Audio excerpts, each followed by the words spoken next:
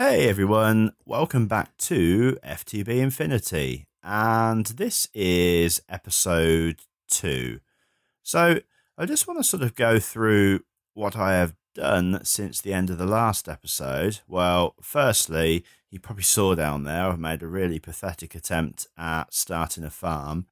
I will kind of do something a little bit better as we move forward. But I actually went out and killed a load of a load of cows and pigs, etc., just to get some meat. It gives you uh, more hunger units back, and it was just it was just easier to do than messing around with a farm at the moment. Because I really wanted to sort of get on and you know get some bits and pieces done in here. So I've made some stairs. I used the carpenter's block mod for that. I've made another room through here ready for our machines to go into. It's probably a lot bigger than it needs to be, but there you go. I said in episode one that I wanted everything to be kind of like, you know, big and open, and it kind of is. I've used the Chisel 2 mod quite extensively in here. I've used the same sunken stone panels that I used next door just so that it gives that a bit of sort of like continuity all the way through. I've used the sort of a similar thing, but just with cobblestone around the edge here. And for the ceiling, I've used uh, cobblestone. I think it's called small stone tiles. Don't really like this dark patch in the middle, but there's kind of nothing I can do about that at the moment. I will try to sort that out in future, but for now, if I don't look up, I don't see it. And I've just got some passages going off to the side here they don't go anywhere as yet. It's just in readiness for when I expand out again. So, oh yeah, and the ladder. I use the carpenter's ladder from the again from the carpenter's block blocks mod. I prefer it to the vanilla ladder for two reasons. Number one is obviously because it's 3D, and so it looks a little bit better there. And also because it's part of the carpenter's blocks mod, then you can texture it however you want. I've just used oak wood because uh, I just think it looks quite nice. It's it's sort of pretty vanilla but it does the job for me. So before I crack on, there's just a couple of thoughts that I had between episodes when I was looking through the mod pack. Number one is we're going to have a lot of machines going on, and most of those are going to need power in one way or another. So having looked through the various mods, there's a lot of different ways that you can create power, right through from sort of early generators that you can use in the, say, for example, the extra utilities mod, right through to, to big reactors. So, really going to have to have a think about how we do our power going forward. And secondly, is that all the machines that we're going to have are going to require a lot of resources to to make and to run and with that in mind i don't really want to be down there with a pickaxe just mining away you know for, for all my life for you know forever really. So i had a little bit of a think and i've actually done something about this already what i wanted to do. Now the two quarries, the Ender Quarry and the Bill Buildcraft Quarry, I kind of didn't go down that route. The Ender Quarry is just too expensive. I don't have any Ender Pearls yet. I mean, I don't have a mob farm anyway. I will have. I'm going to have something over here quite soon, but we haven't got there yet.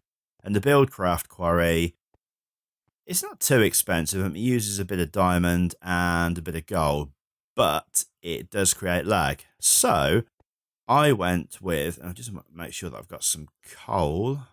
Just going to grab some out of here. I went with the,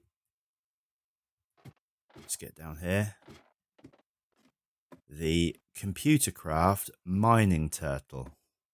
Now, it's relatively easy to build. I mean, if you want to see the recipe for it, you can you can sort of look that up in NEI. As I said, it is really really quite simple.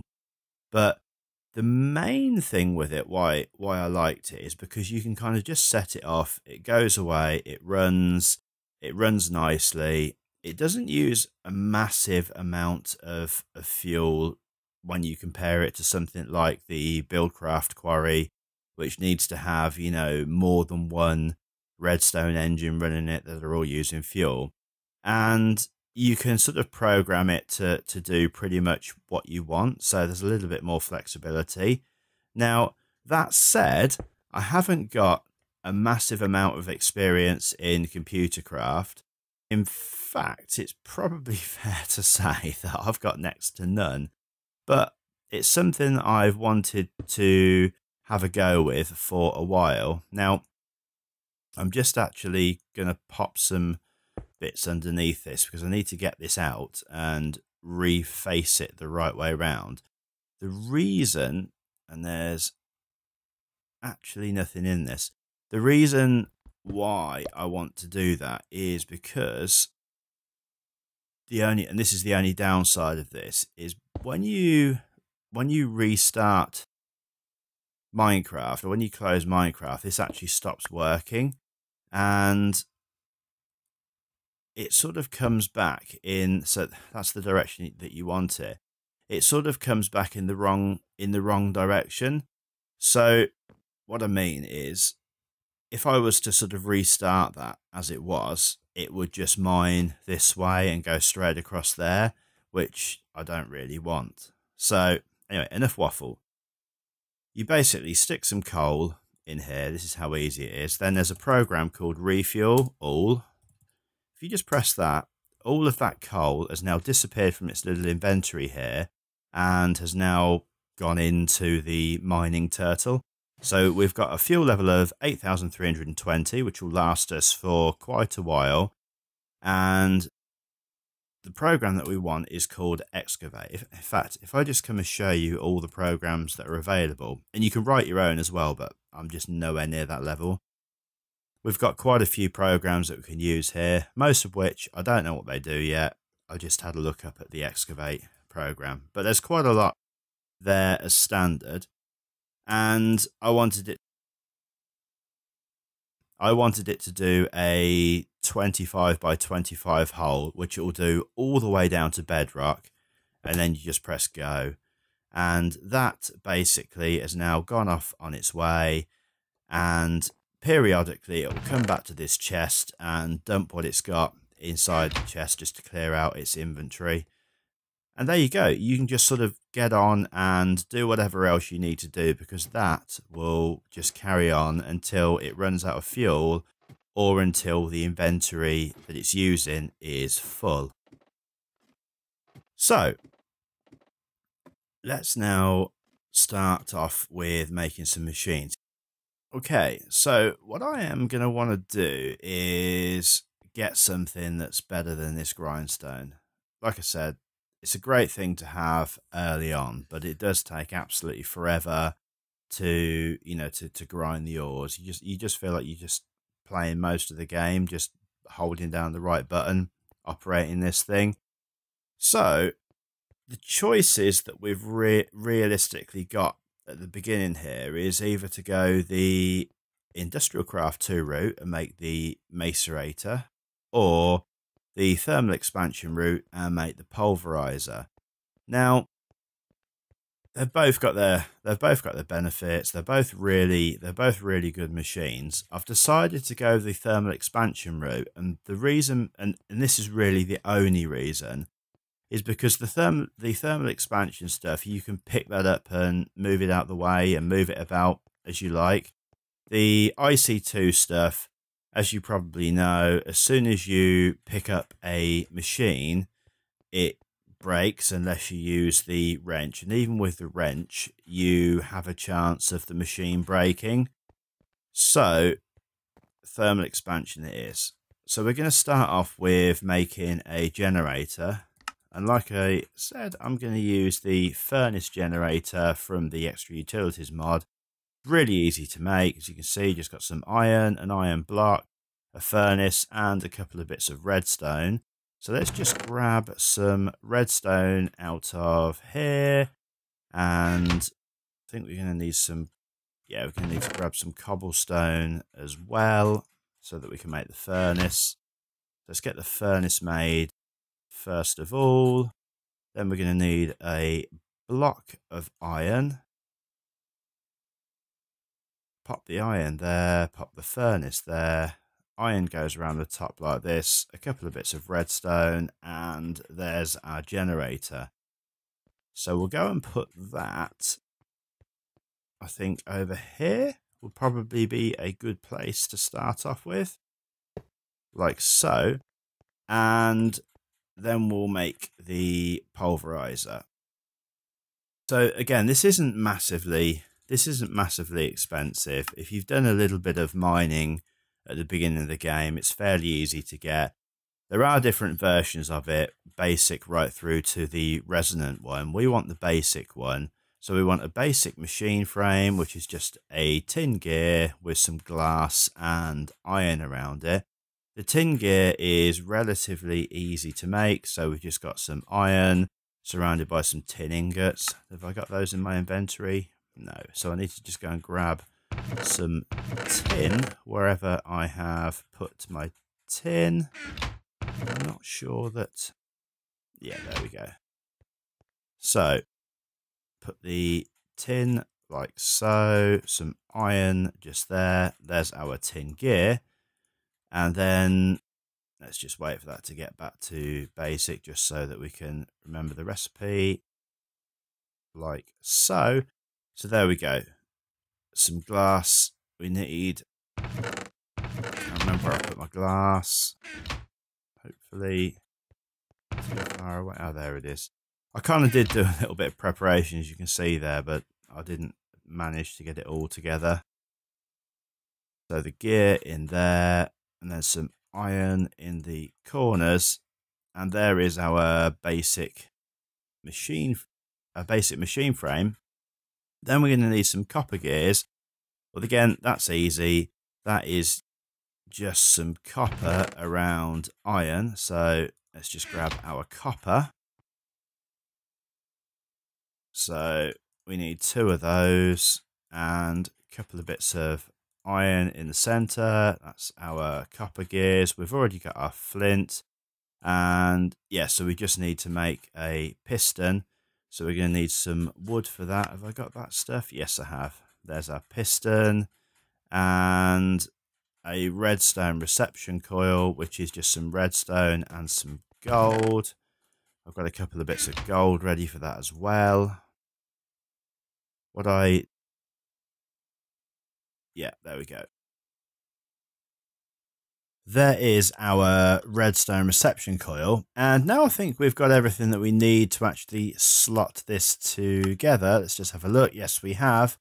So there is our pulverizer. So we can go and put that next to the furnace generator and just pop that there. And now you can basically, once we've got some coal in here, we can actually get that powered up and that will start to actually pulverize down the stuff into ores that we've collected. So let's just grab some ore. Uh, for now, I think we'll grab some copper because we're going to need some of that shortly anyway. And we'll put that in there. So put some coal into the furnace generator. Put some copper into here. And yeah, there we go. So that's starting to actually output that. Now, this is going to obviously output dust the same way that the grindstone does. What I'd quite like is to have this a little bit more automated into a furnace. But I think instead of building a normal furnace, we could probably build the redstone furnace. So let's have a just have a quick look and see. So again, that's from the thermal expansion mod. So we're going to need another basic machine frame, which I think we can do. But we're also going to need some bricks. So we've got some clay in here already. I was going to try and be a little bit prepared and have some made already, but of course I didn't actually have any coal in there. And we're going to need more clay than that. So let's just pop that in there, pop that in there, and that'll be making some bricks. And then let's just make that basic machine frame so we can get onto it like so. So yeah, again, we're going to need a tin gear, some iron and some glass. So let's just quickly get the tin gear made. So that's a piece of iron surrounded by tin. And there is our tin gear. Then we put in the pieces of glass, some iron around there. And there is our basic machine frame. And we're also going to need some more copper gears. Thankfully, we've got enough copper already. So, in fact, we need two of those. So, might as well just make those straight away. Make life easy for ourselves. And we're also going to need another redstone reception coil like that. And yeah, so we're just waiting for the bricks to actually come out. So I think we're going to need eight of those. Yeah, because it's four. It's four bricks per brick block. So just one more, and then we are good to go. And we've got our redstone furnace. Now that isn't going to be able to be powered straight away because the furnace is sitting on the left hand side of the pulverizer. Let's just make those quickly and then we can get that together. So I think what we're going to need to do is get some sort of wire or cabling underneath there. So yeah, so basically this will come out into here, but we're actually going to need RF to do that. And we need to configure this as well so that the we've actually got the I'm not really sure where the input to this is, but there we go. So there's the there's the input. And just need to change that side to be red. Sure or the output color. There we go. So that will, once it's done, that will output from there into a chest when we put it next to it. Now, the actual cable, I think it's, I think you can make like copper, is it copper cable? Copper cable. So that works on, uh, that only works for EU. So what have we got in Ender IO? Let's just have a Let's just have a quick look in Ender IO and see what we've got in there because I think we've got there. There we go. So energy conduit. So there's three levels of that. What, what do we need for the simplest one? Some conductive iron and conductive iron. Okay, conductive iron is made in the alloy smelter. So before we can get that, we're going to need, yeah, and that's the only way that you can make it. So we are going to need an alloy smelter before we can actually get any of that going on. So what does the alloy smelter take? Let's have a quick look. And there we go, alloy smelter. So we just need some furnaces, some iron, which we've got, and a machine frame. So we've got all that. A basic capacitor, Okay, so I think actually we can relatively easily make that. So I'm just going to quickly go away and get together all the bits so that we can just put that together and I'll be back when I have. Okay, so we've got together most of the bits that we need, I think, to make the alloy smelter. So we're going to need some gold nuggets. That, that's to start off with. And that is for the, the chassis sorry, for the capacitor. So that just needs nuggets around some copper and some redstone like that. We've actually got enough to make two of those. And then we also will need some furnaces. So I'm hopefully, hopefully got enough to make, yeah, so three furnaces we're going to need. And let's just get rid of that. We're going to need a cauldron so let's just get that together. And again, let's just get rid of all those bits. I think that is all that we need. So we just need to put that uh, chassis together like so. And then we can get the alloy smelter. Now, we are going to put the alloy smelter the other side of this generator. So we'll just pop that there and I think we'll pop the torch up here just to make sure that uh, everything's lit up. Again, if you just press Control and F7, then that will automatically show you if there are any areas that are not lit enough, and we are okay for that.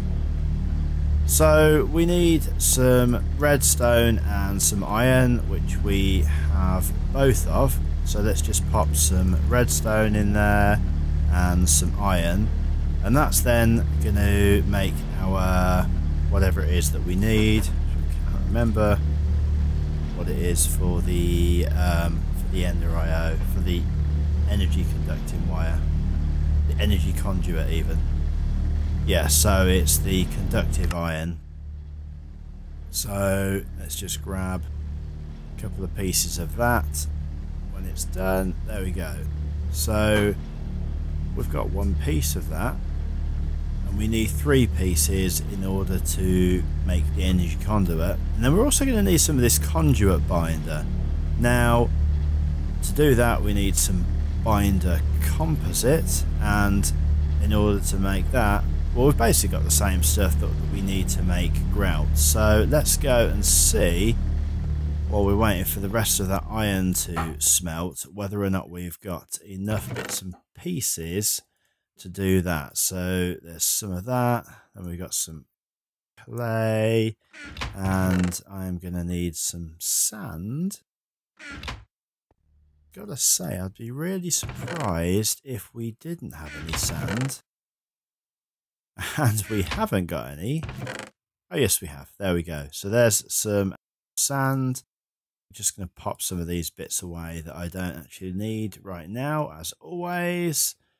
And let's go and get together some of this conduit binder. So, how much of this can we make? Let's say make 24 of that. And then we pop that into a furnace with some coal, like so. And then we'll get our conduit binder. And while that's doing, let's just see if our alloy smelter has done what we need it to do. Has. I'm hoping that when you do this, yes, so you, you actually get eight of these uh, per per lot. So we've got enough. Those machines are quite noisy. We've got enough of the conductive iron and we've got enough conduit binder just to make one of these things. So let's just go ahead and make some of that. And then we should just be able, it should just be a case of if we just mine out some of these blocks under here, let's just get rid of that. It should just be a case of popping that down and it all links up. Well, I'm hoping it is. Yes, it is. And there we go. So now our redstone furnace is also working. And we are just going to need a chest just to grab all of that stuff that comes out. So we will just quickly make a chest. And in fact, can we make an iron chest? Is it? I think it's just a case of putting iron round. Yes, it is. Which will be a little bit bigger. And we can pop that down next to the redstone furnace. And hopefully that will grab all of the stuff that comes out. Yes, it is. Excellent. And lastly, I think what we'll do is we'll we'll put a hopper above here just so that we can bung the stuff in perhaps a chest on top of that as well. So let's just quickly go and get a hopper sorted. I can't actually remember the recipe for a hopper, so rather sadly I am going to have to to look that up. So we just need a another chest. So we need two chests because we're going to have one above it then we pop one of those in there with the that's the hopper. And put that back. Pop that there. So we should be able now to put the hopper just there, the chest above the hopper, and then if we just go and grab a load of our ores that we want smelting, so we'll grab the silver, the yellorite, the uranium, and the... Oh, we haven't got any room for the aluminium. Let's just grab the aluminium as well. Have we got anything else anywhere? Uh, no, I'm going to leave our ferrous for now. I know that we'll use that for Invar going forward, but I've got a feeling that there's something else that we need to save that for. I just can't remember what it is at the moment. So we just pop all of those in there. And then that's going into our hopper. And then that is going, hopefully, into our... Ah, this needs to be an input on top. That is why. So, in fact, it is an input on the top. Why isn't that working? Let's just I think I've actually placed that incorrectly. Let's just see how that needs to go. Perhaps it's a shift. Shift click. Yes, it is. Right.